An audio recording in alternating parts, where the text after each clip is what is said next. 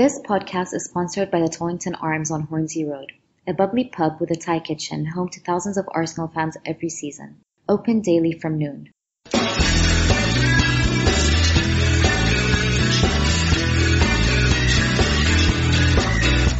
And welcome back to the Gooner Ramble. It's uh, me and Akhil once again. He is a little under the weather because he's trying dry January, and I think his body is working against him. But how else are you? How you doing? Okay, otherwise, Akhil?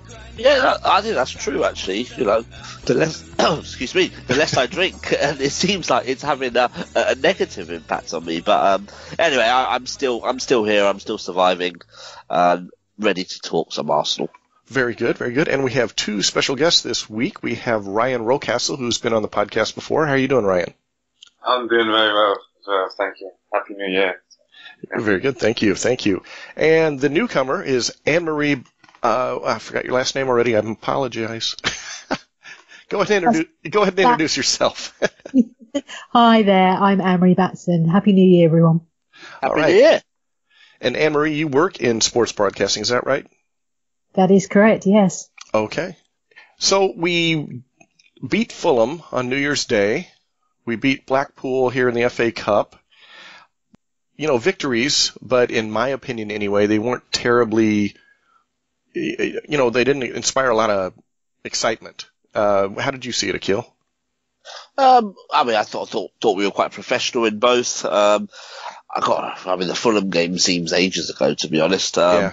But it was one of those games where we, we, we knew we just had to win um, after kind of the defeat at Anfield and, and the draw at Brighton.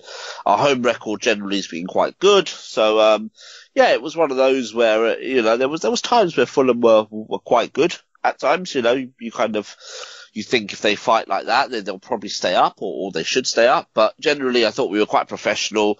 Um, I mean, I, I, guess the game will be remembered for uh, the Lacazette substitution because obviously when he went off, Aaron Ramsey came on. There was a little bit of a vocal kind of vocal negative reaction, shall we say? Mm-hmm. Um, and that wasn't for Aaron Ramsey coming on. That was more for Alex Lacazette going off. Um, but then obviously Unai Emery got it right because Aaron Ramsey went went on and scored, um, played well and we won the game. So um, yeah, it, it's. I know we're going to talk a lot about Unai Emery and the project, but I mean that was that was probably the first time where we saw a little bit of a. It, it, it kind of felt like we were back in the Arsene Wenger days, you know. and yeah. you, you think of that kind of famous Man United game when was it Andre Arshavin came on for Alex Oxlade-Chamberlain? Think about that um, Francis Coquelin coming on for Olivier Giroud at Villa Park. It just felt like one of those moments, but obviously this was under Unai Emery. Um, so yeah, it was it was quite interesting. Um, but yeah, I'm sure we'll we'll see. Uh, and then obviously we went to Blackpool. Um, again, it was a slightly strange game. Um, I didn't actually make the trip, um, just kind of being a bit under the weather. But you know, I've got I've got a mate who's a Blackpool fan who used to go kind of home and away to watch Blackpool, but hasn't been for about three or four years in protest over the owners. And we obviously saw that there with with half the ground kind of empty. In fact, yeah. there was more Arsenal fans than there were Blackpool fans. So it, it's a sad state of affairs. I think you know, as, as football fans, you kind of I think you have to kind of respect the uh, the protest, respect the fans that are trying to do something about it, and generally just wish them good luck.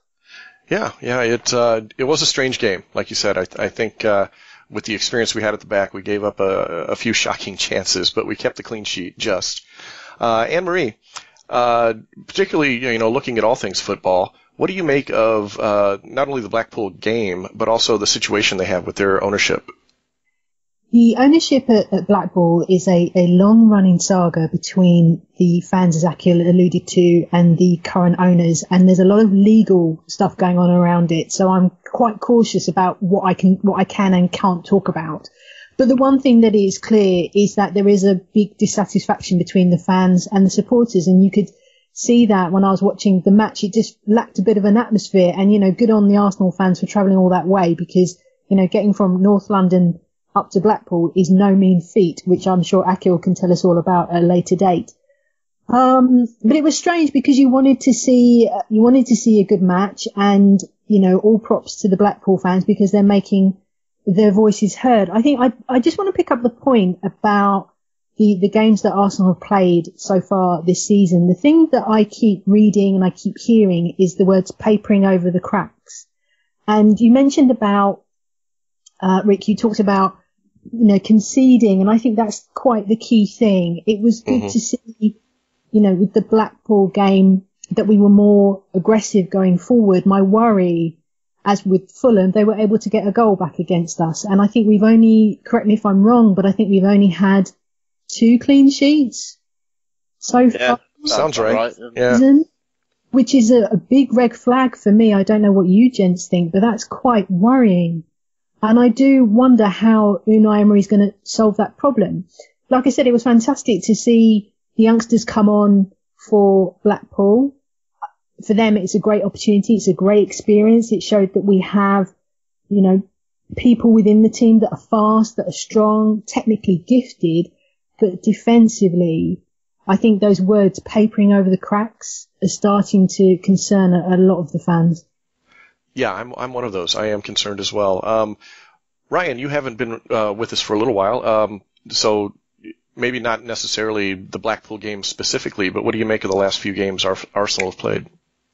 I mean it's it's been I think it's been difficult because um, I think it's been difficult because we went on uh, such a good run uh, how many games was it? 21 or 22? I can't. Like 22? 22 or so, yeah. Yeah. yeah. And I don't think, uh, I don't think anyone expected that. Um, and I think us going on that run, I know it wasn't the most, always the most convincing in terms of how we got the results, but the fact we were getting them and, you know, up until, up until like a month ago, I think we were you know, six or seven points off, off first place. Um, and I think that run kind of kind of make enhance people's expectation. And and this month has been i think i think what's happened is this month is actually we've got in in some of the games what what we deserved. Whereas in in the ones before we had we had managed to to come back and and, and win the game or you know um, and i just think that this month is caught up with us a bit. And um you know we've had some we've had some bad results, we've had some bad performances. Um, but in terms of uh, the overall course of the season, I, I think Unai Emery is do, doing a, a, pretty good job, to be honest with you. Uh, it's obviously it's not his team. Um, you know, it, it's he's he's had six months to work with the players, so he's he has to be given that time to see which ones are going to fit into how his how he works, which ones, you know, he can adapt to, which ones he can't. And for me, I always said at the start of the season, this is uh, going to be a transitional season, but, um, we are now, we're in a pretty good position, to be honest with you. We're, and we're in a position now where at the start of January, if you had offered me, you know, that we're in, in touch of the, the top four, I think three points off it, I, would I'd be pretty satisfied. So I, I'm, I think he's doing a good job, but it's been a tough month. Last month was a tough month. I, I, I actually remember talking on the podcast, and it's kind of weird how it's always a bit of a seesaw and a bit of a roller coaster with Arsenal. Because I remember at the start of the season, a little bit like you, Ryan, saying that it's going to be a year of transition. I don't expect anything. If we're sixth or seventh, so be it. Unai Emery needs time. And then probably about six, seven weeks ago, I was saying, well, actually, expectations have slightly changed. And that's because Unai Emery's done so well. Actually, I now think we could get fourth place. Uh, we, we, we, look, and this was when you were saying that we were seven, eight points off the top and we looked good. Um, I thought, you know, that was when Jose Mourinho was still here. So Man United suddenly, you know, weren't a concern. Uh, Spurs even were dropping points. They've obviously gone on a, a, a, quite a good run. I hate to say it. Apart from the Wolves game, I think they've gone on quite a good run. Um, so, and, and obviously even Chelsea were kind of dropping points and maybe still are, but it, it, it, suddenly the last kind of month or so has kind of brought us down to earth. Since that Southampton game when we lost to Southampton, what about a month ago, we've obviously been to Brighton, we've drawn, we've lost to Liverpool and we lost quite badly to Liverpool. Um, we've we've got at the League Cup as well, which which obviously was was slightly uh, you know disappointing. Um, so suddenly expectations have kind of gone back to the start of the season now, where we feel actually maybe it is that transitional year, and we'll kind of see how we go. Um, But it's just, it's, I think we'll, we'll go through this quite a lot this season. We'll, we'll go through periods where when we win three or four, we'll think, oh, we're back in this. We could finish fourth. Then you might drop points and you might think, oh, actually, maybe is that transitional year. I, I don't know how you feel, Anne-Marie, on that. Well, I was going to say, do you think Unai Emery has that luxury of having a transitional year, given the pressure that Arsenal are not part of the Champions League? If it's another year out of Champions League football for let's say 2019, 2020, how does that impact the club financially? I do wonder when people say and talk about, oh, it's a transitional year. Let's not take that for granted because there are pressures for him to meet certain targets. Let's say he has to reach top four or he has to make the Champions League next year. Because I, I do wonder about Stan Kroenke's position in all this and what he thinks about providing investment to build the team that Unai Emery wants. Yeah, I'm, I'm sitting over here in the United States, actually in St. Louis, uh, so our opinions here of Stan Kroenke are not good. So uh, I don't anticipate a lot of spend out of the Kroenkes uh, to to bring Arsenal back into it. But uh, well, we, we, we saw there was a I think it was a BBC uh, piece the other day about kind of how much owners have actually spent and, and, and put into the club. And obviously Arsenal has been absolutely zero yeah. um, with Stan Kroenke and, and, and KSE. And, and that's not going to change. You know, um, uh, the new sort of managing director, Vinai, has kind of said that we're going to support the self-sustainable model, which basically means you spend what you earn. Um, you don't spend your owners kind of money. Um, and it looks like we're going to, we're going to stick to that. So what that means for, for January, um, I, I'm not sure. Um, but certainly going forward, it, it's going to be, I mean, the, the, the, Champions League is massively important. You know, it's, it's kind of 40, 45 million a year. Mm-hmm. That the Champions League brings you, so it's massively important.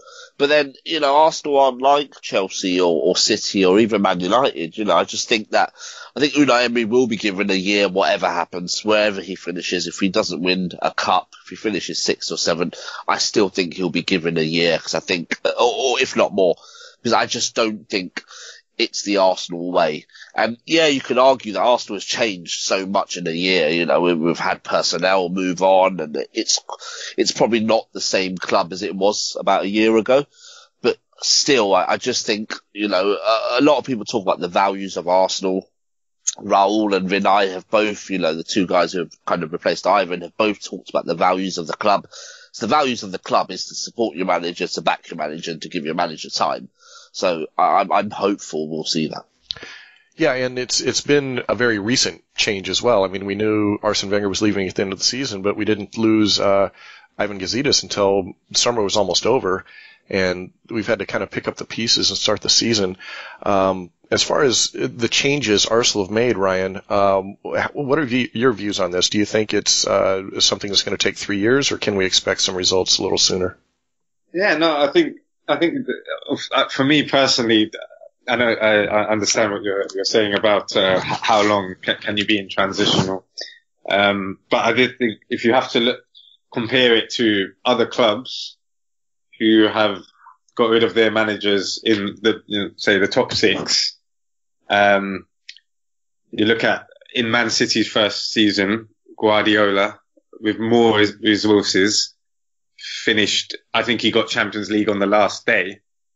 Um, Klopp in his when he took over, I think they finished sixth or seventh. I think Mourinho in the league finished sixth with Man United, um, and they uh, got the Champions League through the Europa League, which of course is a path for us. Um, so I, uh, there was Chelsea with uh, Conte. They they won the league actually, but theirs was a little bit different because um, they didn't have Europa League, you know. So I think he was working. They were just working on the Premier League, and he managed to already have. I think that Chelsea squad as well. I think was in a better better condition than the Arsenal one. So for me, um, yeah, this is. I would be very. In fact, I, there's no way, in my opinion, that Unai Emery uh, is even if we were to finish sixth and, and win nothing, is not going to be in charge of Arsenal at the end of the season. I just I can't see it. I don't think it makes any sense at all because, as I said, he this year he's still trying to figure out what what players he wants, what can fit into his system, uh, the way he wants to play. And I think he have to, he has to be given, um, a, a season to figure that out. And then hopefully next summer, put that, put his plans into action and then go again. Uh, and just a quick thing as well on, mm-hmm. on transfers. Liverpool, when they, Liverpool in the last few years, in my opinion, have been the team who've got the, the best transfers right. Yeah. I've just looked at, I've just been looking at some of the, their signings that they've made, right? And it's only this year in 2018 where they've signed, um, Van Dijk and, and Alisson, where they've, where they've signed genuine, proven, world-class players, right? Before that, people like, um, Mane, uh, Firmino, um, even Mo Salah, you know, they, Robertson, they, they were, they were good players, but they weren't world class players and they didn't cost a load of money. So you can get by if you have a good transfer strategy and you get players that you want and the manager can really work with. You don't have to spend loads of money to, to get it right. True, and true. What, and uh, go ahead, go ahead. I was saying to pick up on your point then, that nicely leads into, segues into the changes that Arsenal have made at top level, at high level, bringing in, as you've mentioned, you know, Vinai and Raul, who are replacing Ivan Gazidis. It is a long-term project, isn't it? And let's not forget about Sven either, coming over from Borussia Dortmund. It's like a new broom has been sweeping clean.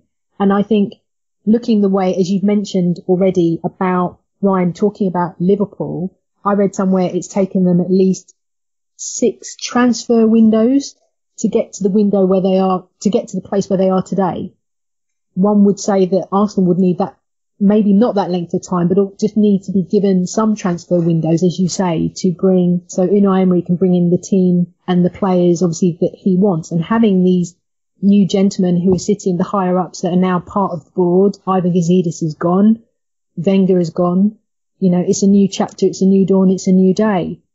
Um, I think some Arsenal fans are impatient but I think that's because they were just so exasperated by the time of the end of Wenger's tenure. They were desperate for change. And I think a lot of eyes are going to be on these four gentlemen sitting at the top table to ensure that they follow through with Arsenal values, that they bring in world class players that bring and that bring something different and can lift the team. And then Unai Emery can start to shape Arsenal in the way that he feels can deliver those trophies and those accolades and those titles that have been long overdue for the Gunners. Yeah, and uh, Akhil, we'll, we'll go back to you. Looking at the future here, uh, Unai Emery is a designated as a coach, not a manager, so we don't know how much say he has in signings. And I, am just playing devil's advocate here. So you know, looking forward, not just January, but the summer. Uh, I'm wondering how much of how much of a stamp Emery can put on this team by himself. He's obviously got to work with others we're also we don't have like a Coutinho asset to sell like Liverpool did to, to bring in those other resources like Van Dijk. What do you what's what's realistic uh, looking forward and Emery working with others to achieve what he wants? Yeah, that's that's a good point on the Coutinho thing. To be fair, um, but I mean, yeah, Unai Emery's a head coach. the structure's obviously changed massively. So, uh, what two years ago you had you had an owner, you had a CEO, you had um, the, the, the manager of the club. and then you had like the, you know, the head scout who reported into the manager, Steve Rowley. You had, you know, people like that into kind of Arsene Wenger. Obviously that's all changed. Unai Emery, I mean, technically has probably slightly less power.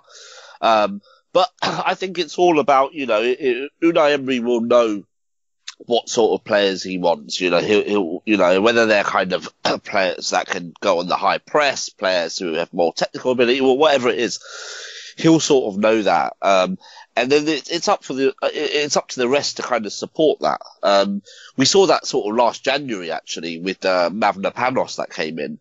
He was one that I don't think Arsene Wenger had much to do with. I think it was a Sven signing. And if you actually remember, Arsene Wenger said he's going to go out on loan. Then he sort of a month later said actually he's going to stay with us. And then we saw him play at the end of the season. So mm-hmm. that to me meant that Arsene Wenger didn't really know him gave him a chance in training and thought, actually, this lad's all right. Um, so I kind of see that going on as well. I, I see Sven, you know, doing his job, coming up with players, maybe then having that kind of conversation with Raul and with, with, with Unai Emery about the players he's found. And then I think what, what excites me about this is obviously when, when Arsene Wenger first came in 1996, we, he knew certain markets. He knew the French market, for example. He had worked with players, you know, he had worked with Thierry Henry in Monaco.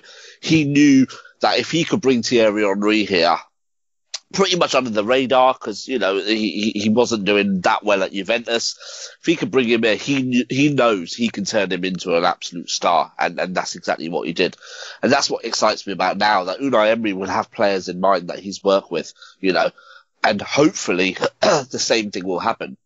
We, we, you know, we're, we're, heavily linked with someone like Denis Suarez at the moment, and Denis Suarez is a player that Unai Emery's worked with, knows. Um, Denis Suarez himself a couple of years ago talked about how Unai Emery is one of the best coaches he's ever kind of worked with as well. So that actually excites me. There's a player that he knows, Unai Emery knows that he wants to bring in to play his style, to play the Arsenal style as well, who he can improve. So I'm hoping this whole thing will replicate what Arsene Wenger did in '96. Um, you know, because I think that's kind of where we're going to be. I mean, as as kind of Ryan points out, the Mo the Manes, they weren't. You know, Mo, Mo, Salah when he was was was you know when people talked about Mo Salah before he he was a forgotten player. he was a forgotten player. He, yeah. he, was there at Chelsea, but didn't really do much. I think he went to Roma, didn't he? Played well there, but obviously if if if, it's, if you're not playing in England, generally people in England don't really think about you. So it, it's you know it's all about. I mean, Jurgen Klopp obviously knew that he could get the best out of Mo Salah and, and kind of did the deal. So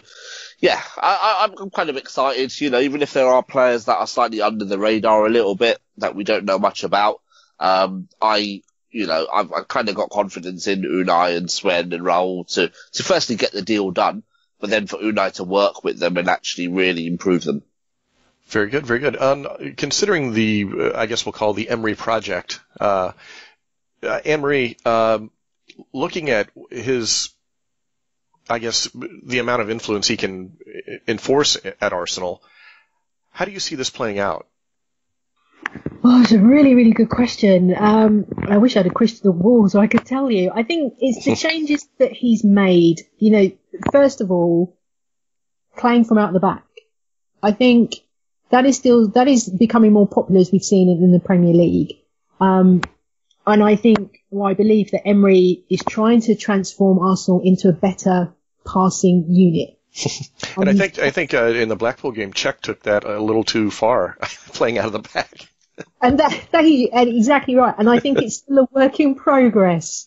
To be honest, as you said, you know, Cech slightly struggling with it, and maybe Leno as well, not quite there yet. But those days of lumping the ball forward, you know, over the heads of everybody, hoping that somebody in the midfield or the forward's going to pick up, I think is is changing now. So I think there's a real clear strategic shift in how to use the goalkeeper more, seeking out to play out from their own third.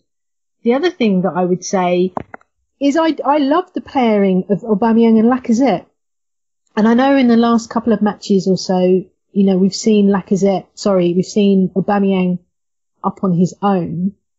But I enjoy watching the pair of them together. I think they have fantastic chemistry. They read each other really well. Um, and it's such a joy to watch them together as well. And I know Emery's been tinkering with the system, but I'm hoping that he will persist with that because those two, I think, could be a force that defenders will become worried about in the Premier League. Such is the way that they can read each other's game, the way they service each other as well, the fact that they can get goals, which is what we all want. It's a relationship that's blossoming as we've seen off the pitch as well, and, and I'm hoping that Emery will invest in that more. Um, and the other thing as well, I would say, is about his coaching style. I think, would it be fair to say, Akhil, that Wenger was a bit hands off when it came to the coaching, whereas now Emery uh, very much more hands on? Yeah, I mean, he he was he was hands on in terms of in training. He he took every session. He was a little bit of a control freak there. But in terms of, yeah, I mean, you know, we've heard from a lot of ex-players who, who say that, you know, when mistakes happened, Arsene Wenger would sort of let you work it out yourself because he would say you're intelligent enough to know you've done wrong and to kind of work it out yourself. Whereas it's completely different with Unai Emery. Um, you, you, have actually reminded me of something, but when we have a set piece, uh, when I think when we were defending a set piece, Unai Emery, who usually is always at, on the touchline, he actually goes and sits down when we're defending a set piece, and his assistant manager or one of his assistants, obviously Baldy's one, but the other one, he actually goes up and he starts to organise it, and it's only when the ball's cleared they swap over again, and then Unai Emery gets to the front again, and the other guy sits back.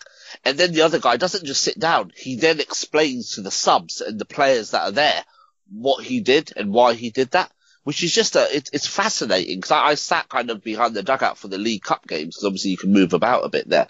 And it was just absolutely fascinating. Um, but yeah, next time you're watching Arsenal, look out for that because you will notice that. And it is, it is fascinating. Sorry to interrupt though. No, no, no, it's a really good answer. The other thing I, I was going to say, just actually agreeing with your point, is I've noticed Emery when he's whoever is on the back line, he will hold his arm out and, and tell them not to move any more forward to stay in line with his arm. I don't know if you've noticed that. I was watching the game with my dad and I kept saying, look at Emery. He keeps, he's standing at the touchline. He's sticking his arm out and he's telling his, his back three or back four not to move any further than his arm. And I find that quite interesting because I notice a lot of teams now, a lot of the defenders go quite far forward, but we seem to be keeping one or two players back and giving defensive, um, capability at the moment. I think he's looking to, for people to understand their positions more and understand their roles more. And I think that's where he's improving one or two players within the team. We know, you know, Iwobi has been a revelation for me. I, I know for some people, they're not exactly feeling him right now, but I think he's blossomed over the last few weeks. And I believe that's under, um, under Emery's, um, coaching.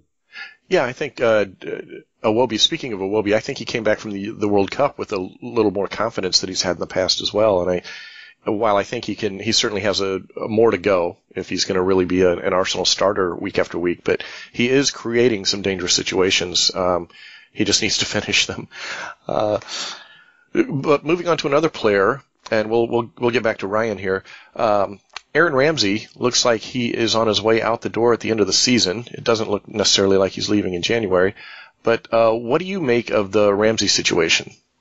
Uh, it's a difficult one because I think ideally, you know, you, obviously you don't have a player of his quality leaving on a free transfer, you know, and I think going forward, that is something that that can't happen in, in the future. You know, we, we, we can't get that that wrong. Um, yeah. I think, I think if, from what we're being told is Unai has a, had a look at him and then decided actually, no, it's, it's not, it's not for a player he wants to move forward with. He'd rather move him on and, you know, spend the wages on, on someone else. And I don't have any problem with that at all. Like if he's, if he's identified, if that's what he's seen, he's worked with the players, he's got his own di- ideas. Um, but I just think in an ideal world, let, if Unai had taken charge, let's say in January, last January, and he had looked at him for six months, and then in the summer, he decided that was it, that he wasn't for him, and we sold him on. I, I don't mind, I don't mind be, a manager being decisive like that. Um, I, I think it's a tough one because he's Ramsey's obviously given us fans some really great moments, um, and we have we have an attachment to him.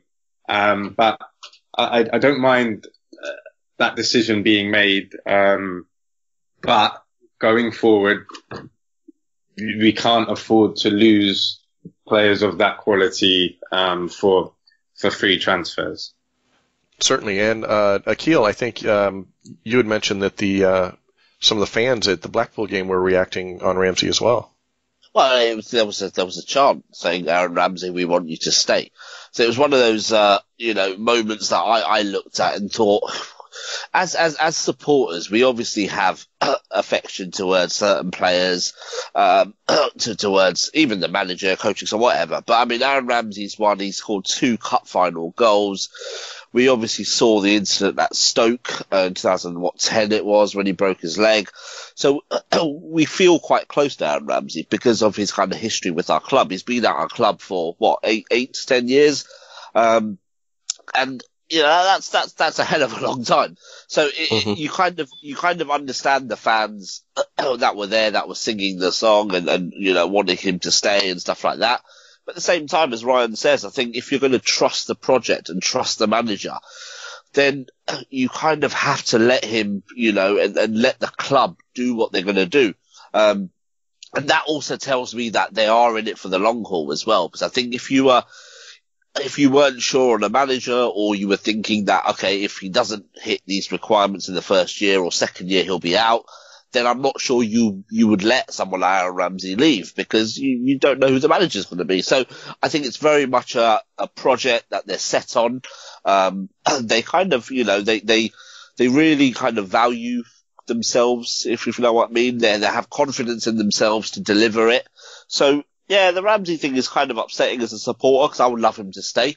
But I mean, Unai Emery and the club think that they could spend that 200 grand a week elsewhere. Um, and, and, you know, if that's the case, then you, you kind of just have to back it really. Um, so, uh, you know, as Ryan rightly points out, it, it's a shame that we didn't get to this place in the summer and then we could have sold him for 40, 50 million and, and kind of, you know, uh, invested that back into the squad. But I mean, it's one of those things where you just have to support, you just have to back the, the, the club. But I totally get why fans are a bit nervous. And, and, and to be honest, you know, I look at our squad and I think, I mean, with Ramsey kind of, you know, I know he's probably going to go in the summer, but I mean, I tell you what, if a 30 or 40 million pound bid comes in, I'm, I'm not sure it will, but if it did, even a £25 million bid, the club will be in such a big dilemma on what to do.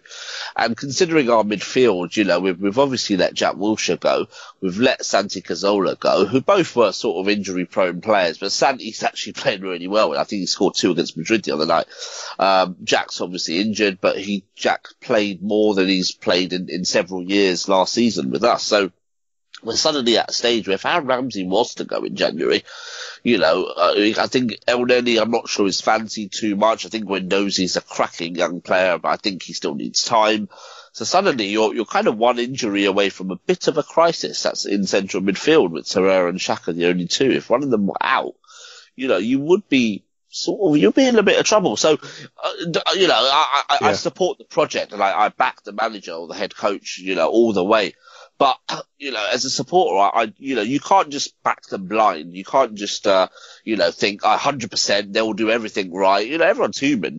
And and I, I look at sort of another example. I look at Callum Chambers at loan uh, on loan at Fulham, and I think, oh, we could have bloody done with him here. You know, nobody knew that Rob Holding was going to get injured, but did if if I mean we started with the back four at the start of the season and maybe Unai Emery thought a back four was was what he's going to do until he actually got sort of into the English game more and realised actually sometimes you will need a back five for protection. But if we knew we were going to play a back five and we let Callum Chambers go and we, we knew Laurent Koscielny's kind of out for a few months, we probably knew Mavropanos is out for, for a little while as well, that letting Chambers go on loan was, was just, you know, it, it, was, it was a questionable decision. I think as fans, we're allowed to ask the questions and we're allowed to ask that, is it worth us not giving Ramsey a new contract? Is it worth Chambers going out on loan? But I mean, ultimately, it's, it, it, it, it's the project that deals with these kind of things. And, and I think pretty much you have to back them. Yeah. And, uh, go ahead, Marie. Yeah. Just to say on Akhil's point, Akil, do you not think though that maybe the seeds for this were sown a long, long time ago? The whole situation around Sanchez, the whole situation about um, Ozil's contract as well, his wages, Mkhitaryan's wages, kind of put Arsenal on the back foot. But maybe it's a fault of their own for not sit, looking at the bigger picture. So yeah, I mean, I mean having decisions very quickly that put them in a slightly awkward position, leading to the point, as you just accurately described, about, you know, if somebody was to, in the midfield, if we lost some, another strong character in the midfield and Ramsey's gone and Callum Chambers is elsewhere, we're in a, we're in real trouble. So do you think that this was something that was, was this something that could have been foreseen? Is my question. I, you know, it's, it's, it's a tough question to be honest to answer without knowing what's going on. But last January was absolutely huge for this football club, in my opinion. Last January was pretty much when the power shifted from Arsene Wenger to Ivan Gazidis to Sven. Raul came in a few months later, but there's no doubt Raul was probably doing a little bit of work for Arsenal in January.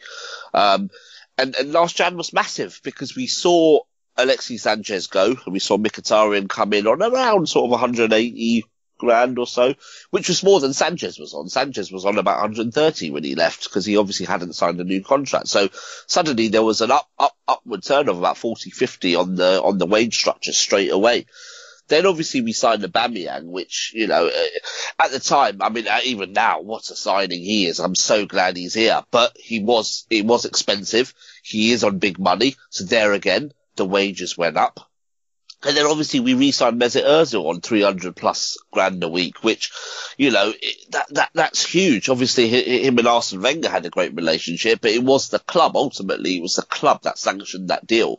Um, so it, it's, it's huge because that was when we probably, uh, you know, that, that would have impacted our, our summer. And, uh, you know, there was rumours about this summer that we only had 50 million to spend. We, we spent about 70 in the end.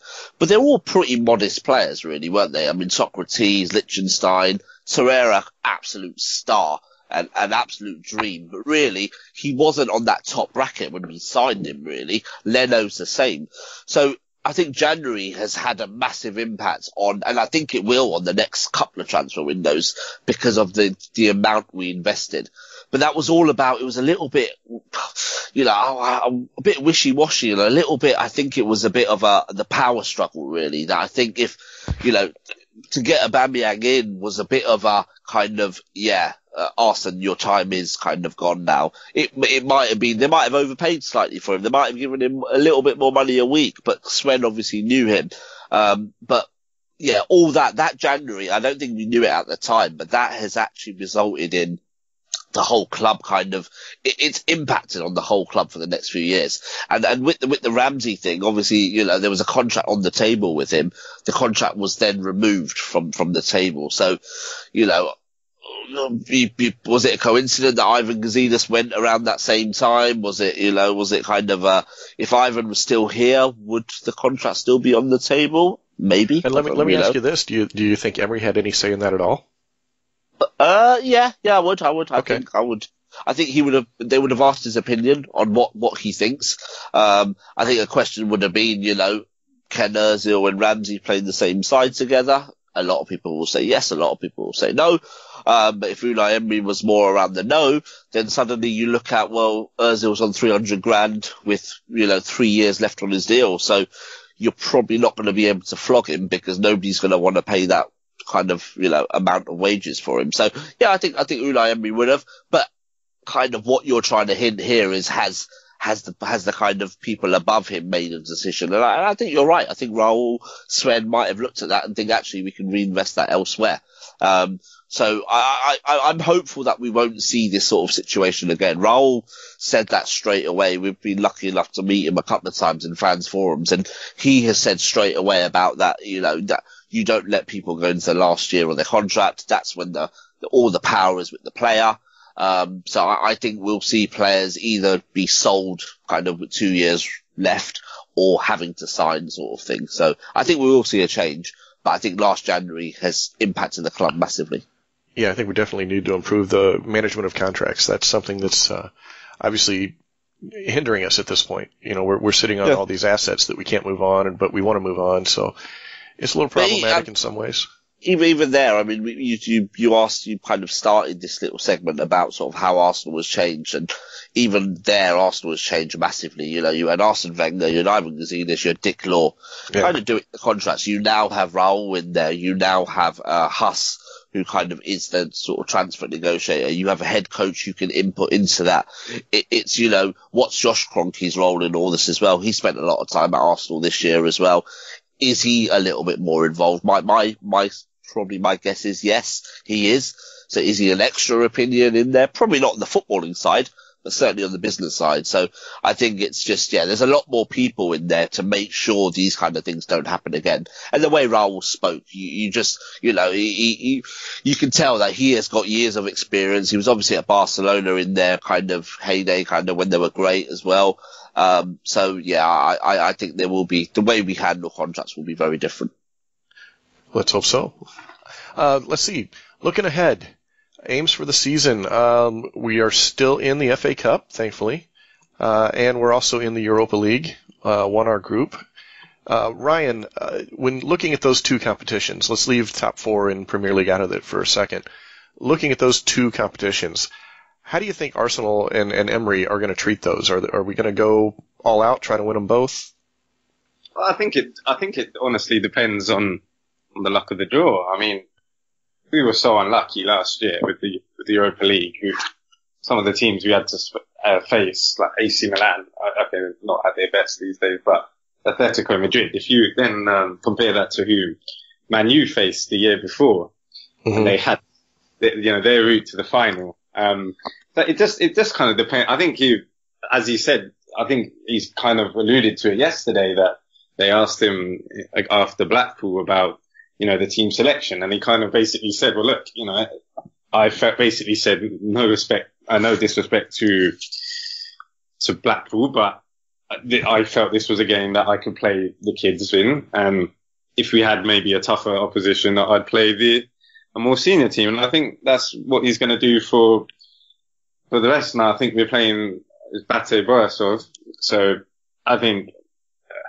he probably won't take any risks in the first leg of that. But if we get the job done, uh, then he'll he'll go um, he'll play the kids, and I think do the same for the for the FA Cup, and that will that will be the I think that will be the procedure for for the campaign. You know, we'll just keep seeing I, I think there's no prioritizing one. Having said that, if he, if you were asked me which one he would rather win, it would, without a question, a shadow of a doubt, be the Europa League because yeah. that gets into the, the, the Champions League, and he's got an unbelievable record in that competition. Yeah, uh, Anne Marie, what are your thoughts on those two competitions? Uh, I'm I'm kind of thinking just go for both. Like okay. you said at the beginning, I think Ryan is right. I think the one that he would want to focus on is the Europa League because it's the opportunity to get back into the Champions League. But, you know, this weekend we've seen some fantastic results of the FA Cup. It's it's going to be a step up now as, as heading to the fourth round. And the one thing that Arsenal has hang over over it is the fact that the team concedes. So I think just you know go for both competitions. What do you, what do you have to lose? At the end of the day, as I said, it, it's a transitional year. He's he's figuring out who works well together, who doesn't, what he wants to deliver, his philosophy, and so on and so forth. I think it's an opportunity to see how players work together as well for both. Um, you know, Blackpool was, as you mentioned, right, it was good to, you know, for the kids to come out and play. We've got some fantastic youngsters coming through the ranks. My worry is, you know, with Koscielny, you know, obviously he's come back from injury and then he's back in training yesterday. What does that mean for him going forward? And who can we rely on as a, as a, you know, a centre back for the Europa League games as well as the FA Cup games? Does that mean that Carl Jenkinson is going to get more of an opportunity now? I think actually, now I'm thinking out loud, I think, you know, Emery's got some tough decisions to make about who he puts forward for both these competitions. And I think he'll have to decide which is the one that's going to have the greater outcome for the club. I'd like him to do both. That's my personal thought for Arsenal. I'm just wondering if he has that luxury given that we are injury ravaged. If Arsenal bring in new players, how are they going to bed in if they're still part of the FA Cup as well as Europa League? So many, there's so many variables to it, you know, um, for Arsenal. Some tough decisions to be made, I think. I would say, my personal view, is I believe that Unai Emery should put out the strongest teams possible for both the competitions.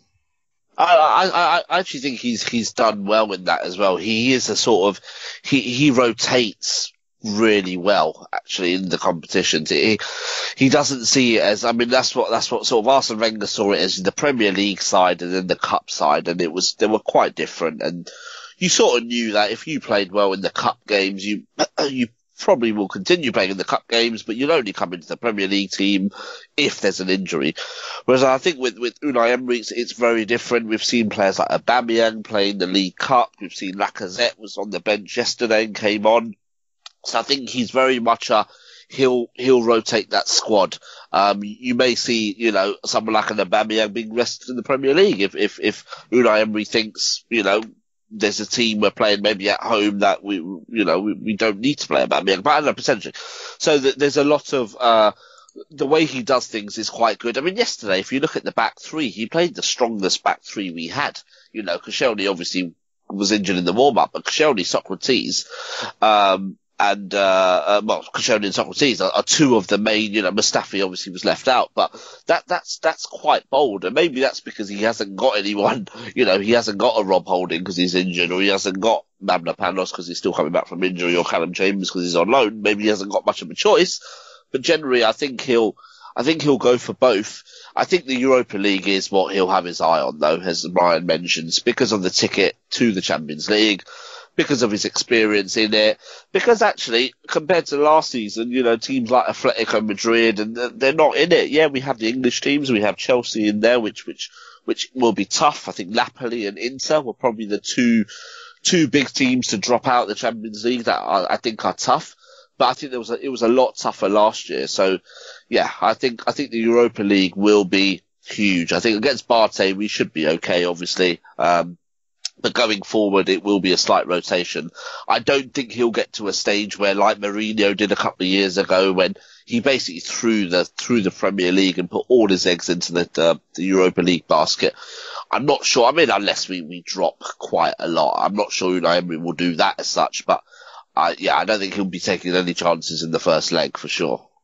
Yeah, I, I, I agree with Ryan. I think a lot of it depends on the draws we get um, on some of these games because uh, as Henry said, we're, we're, kind of thin at the back. So as you're trying to look at player rotation with uh, games coming thick and fast, you're going to have some tough decisions to make.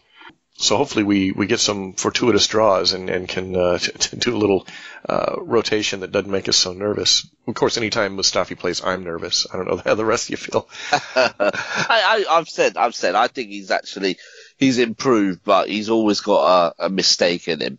Um, and, and I, I guess it's, it's, it's a it's, you know, I think I brought this up the other day, um, with the other podcast that, and I'll be interested to see what Ryan and Anne Marie's views are. But for, for, for me at the moment, someone like Mustafi, is, is Unai Emery playing him because he hasn't really got a choice, or does he actually like him? Because remember, these players aren't Unai Emery's players. He has to get the best out of the players he's got.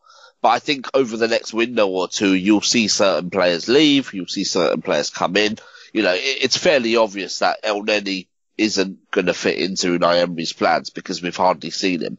But someone like a Mustafi, is he going to fit in or is he not? It, it, looks like he is because he's playing week in week out when he's fit. But is that because there's a lack of choices? I don't know. And why hasn't he played Carl Jenkinson actually, Akhil? I know Carl Jenkinson's come back from a, a long-term injury, but I, am fascinated to understand why he hasn't featured him as much because we know that Jenkinson has played in Carabao Cup games. Yeah, I don't know. Maybe he just doesn't fancy him. It's just, uh, you know, Carl Jenkinson's obviously, you know, a, a, a, decent enough player and stuff like that. He's obviously got Arsenal in his heart, but maybe ultimately Unai Emery just doesn't fancy him. But then, you know, you could argue Lichtstein has been oh, one of the most average signings we've probably ever seen. You know, he just looks completely past it. Great off the field and, you know, a leader. And we saw that, uh, you know, in the North London derby in the Premier League when, you know, that Dier and Ramsey stuff started. Lichtstein was straight in there. He was yeah, loving his it. attitude, yeah. He was loving it. And, and, and, and, I totally love that. But as a player on the pitch, he makes me more nervous than Mustafi does. So yeah, I mean, Anne-Marie, you know, to answer your question, Carl Jenkinson versus Lichtstein is probably quite close. You may even go Carl Jenkinson. So, yeah, I, I, I don't know. Uh, maybe it's just uh, who he fancies and who he kind of, you know, thinks will do a better job. Yeah, I think uh, somebody in our, uh, our, our fan group here in St. Louis said said over the weekend, well, Lichtsteiner was a, a free transfer, but I still want my money back. yeah, exactly. Uh, bless him and all. I, yeah, I, I, I hate to love his attitude though players. But yeah, it's just it, it's clear that he's not got it anymore. Yeah. So uh, looking forward, uh, West Ham next weekend is is Nasri going to be in the team? Yeah, he, is. Probably oh. will. Probably will have a good. Probably have a good game as well. Oh, okay. That that'll be banter worthy, won't it? well, uh, All right, so let's yeah. circle around. We'll start with Ryan. Uh, looking ahead at West Ham, uh, what do you see there? It's a tough game because I have watched them a couple of times this season, um, and they going forward they, they look very good. They they got this uh, this player Felipe Anderson uh, playing on the left wing for them, and especially our right side at the minute, he he looks a proper proper player. He's got dribbling, um, he can shoot, he can go down the line, he can cut in, um, and I think the style West Ham play is is an attractive one, and they will get chances in this game. I think it I think it'll be a really good game actually. Um, it'll be quite open. Um, yeah, I think this is uh, this is a tricky one because not because of this game, but because the following week we're playing Chelsea. Yeah. I want to be in with a chance to overtake Chelsea, or or at least be on level points with them, and they're playing Newcastle at home, which I think will be a three points for them. So I think it is really important that we get the three points here, but I do think it will be a difficult game. So no clean sheet sounds like. Give us the scoreline. Give us the scoreline. there ain't going to be many clean sheets from, from now to the end of this. do that. Um, I'm going to say I think we'll nick it. I think two one. Two one is a good shout. Uh, two one or, or, or three one. Okay. So, Anne Marie, what do you think uh, looking ahead at West Ham and then Chelsea after that? Looking ahead to West Ham, it's a game that Arsenal really need to win because the team need to keep the pressure up on Chelsea to be part of the top four. I'm thinking that Arsenal will win the match, but I think they'll probably concede first. Score wise, um, I agree. I'm going to go for a 2-1 the players to keep an eye on in terms of West Ham is definitely Arnautovic and also Anderson. And I think Nasri is going to get a lot of stick from the Arsenal fans when he appears on the pitch. I hope so. Akhil, are, are you going to be part of that? I am. Oh, absolutely. You know, Sammy, I, I, was a lot younger when Samir Nasri left Arsenal. You know, I'm sort of, I was in my kind of twenties then. I was a little bit more, uh, uh, uh, players used to get to me more. You know, that was the period when obviously Fabregas, Nasri and Van Persie left within a year of each other. And that, you know, as, as a young person, that totally broke my heart. You know, it's it's not how it is now. I don't kind of I don't feel that anymore. I don't feel that sense of kind of you know that that that kind of affection as much now. I've kind of learned to take a step back. But yeah, seeing Sammy Nasri, and certainly if he has a good game, it will be quite upsetting. Oh, yeah. Um, but what do I think will happen? I think, you know, as, as both have said, really, it, it's, it's huge. Because if you look at our next four Premier League games. We have West Ham, we have Cardiff at the end of the month, but we have Chelsea and we also have Man City away. So, you know, as, as optimistic as we want to be, Man City away is going to be quite a tough game. I think they're going to go on a little bit of a run now after beating Liverpool. So you presume that's going to be tough. Um, so really we, we need to beat West Ham. We need to beat Cardiff and, and we hopefully need to beat Chelsea as well. Certainly not lose to Chelsea. So this has to be a win. Um, you know, generally we're probably not going to keep clean sheets. We we can we can score goals. You know, we know that. So yeah, I think two one is probably logical to Arsenal. Okay, uh, I got to agree with everybody. I don't I don't see us keeping clean sheets. Our our defense has been just a little too porous um, and injury ravaged. Although I, I hope that uh, Koscielny can make a comeback. Hope that injury wasn't anything serious. But um, going forward, I'm I'm going to go three one. I'm going to go Arsenal three. Sound good? That's good. So I mean, Arsenal have a really, that, yeah. Arsenal have a really good head to head against West Ham. So I think it's going. I think it's going to be a, a cracking match, a feisty, a feisty encounter for sure. Oh yes, absolutely. I agree. So uh, that will do it. I'd like to thank Ryan Rocastle for joining us. Uh, what is your Twitter handle, Ryan, if people want to find you? Uh, um, it's Ryan Rocastle 7. All right. Thanks for joining us. No problem at all. And uh, Anne Marie Batson, where can they find you? I am Anne Marie Batson on Twitter and Instagram. All right. Thanks for joining us. You're welcome. And uh, I'm Rick. You can find me at GolfinGooner. I don't tweet much, so, so like I said, I'm, I'm an easy follow. But uh, Akhil's a little more active. He's in the social media sphere. So, uh, Akil, give us your final thoughts yeah. and send us send us out. Yeah, so uh, it's 10akhil on Twitter, as probably most people know, and uh, there's only one way to end, isn't there? Up the Arsenal,